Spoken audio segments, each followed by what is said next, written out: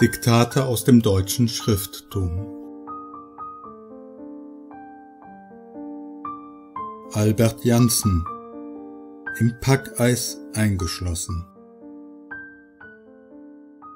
Es war diesmal ein Südeisjahr, und die Walfänger kamen nach zehn Tagen schon an den Wal, hatten auch Glück, gleich bei der ersten Jagd einen mächtigen Walbullen zu erlegen.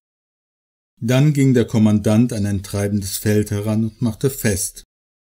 Aber schon am nächsten Tage überfiel sie das tückische Treibeis und schloss sie ein.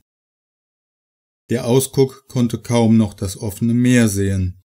Die Luft wurde mistig, und bald hatten sie dickes Wetter mit Schneejagd. Der Wind stand ungünstig, und das Eis fing an zu pressen.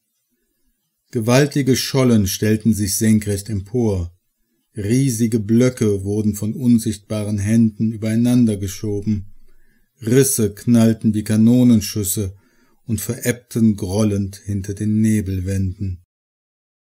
Da der Witte Bar noch wenig beladen war, drückte ihn das Eis hoch, so dass er eines Tages wie ein toter Wal hilflos auf dem treibenden Felde lag.